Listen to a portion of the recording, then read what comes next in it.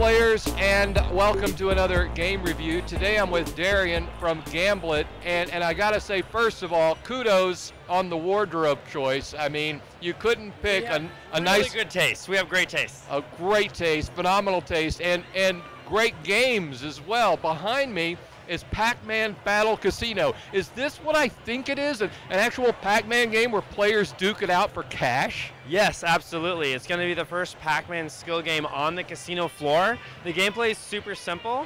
You start out and a wheel comes up and basically determines what the prize is going to be, and then all four Pac-Man battle for that prize, and the last Pac-Man standing wins. So the awesome part is if you collect the power pellet, you get to go and eat the other Pac-Man as well as the dots. So it's super competitive, it's super fast-paced, it's just a joystick, it's really easy to play. It's the classic Pac-Man we know and love, but at the end you win cash.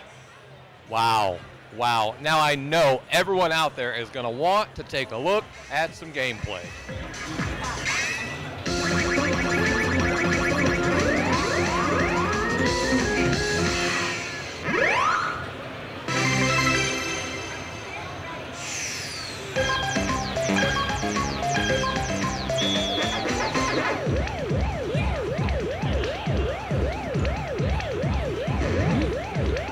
Yeah.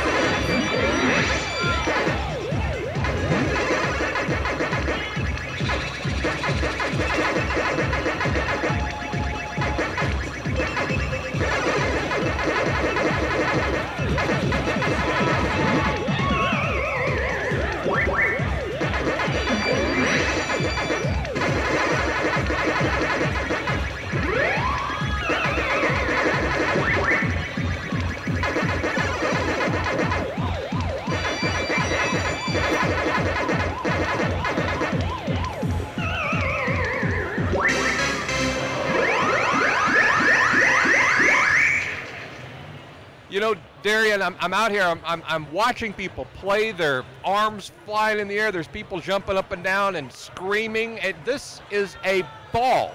Yeah, I mean, I wanted to bring the sense of arcade fun where I grew up into the casino, and I think that's what we've done here. We're actually showing 24 different skill games, so we have the biggest skill games portfolio in the entire industry.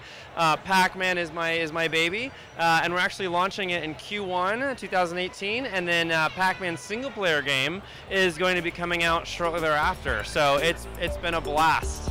I look forward to playing it. In fact, I think I'm going to go play it right now. Awesome. Thank you for coming.